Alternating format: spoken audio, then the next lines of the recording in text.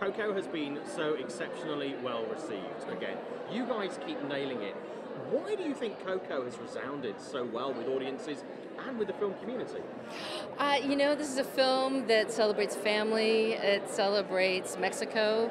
Um, it's a it's a beautiful film. I think that it's this interesting combination of this amazing specificity, uh, but universal themes. We all love family. We all want to be remembered, and we want to remember our family. Now, I have to ask you as well, there was a little video that went viral a couple of days ago with a little boy singing Yeah. A song from Coco. Yes. Did you see that and how did you feel? Everybody cried. Yes, I you. If you didn't cry, I worry for you. if you, um, that video was amazing.